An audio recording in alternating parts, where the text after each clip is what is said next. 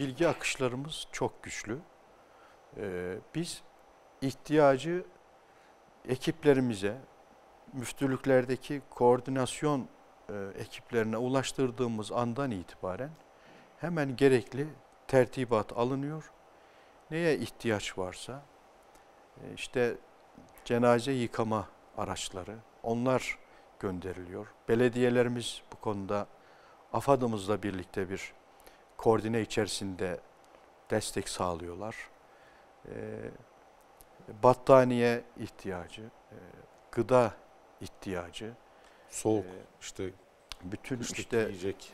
ısınma ihtiyaçları, yiyecek, yiyecek çocuk malzemeleri, çocuk bezi, hijyen malzemeleri.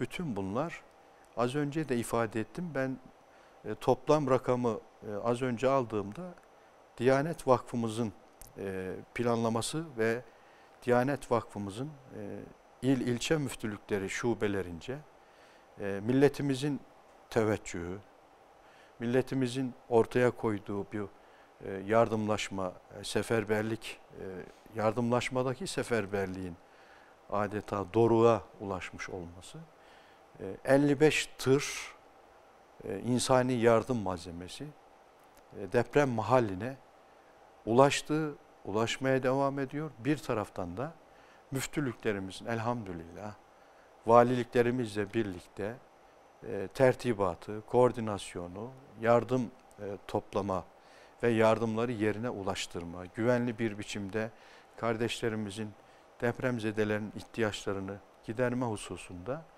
yoğun bir çabaları, gayretleri var. E, ben hepsine ayrı ayrı teşekkür ediyorum.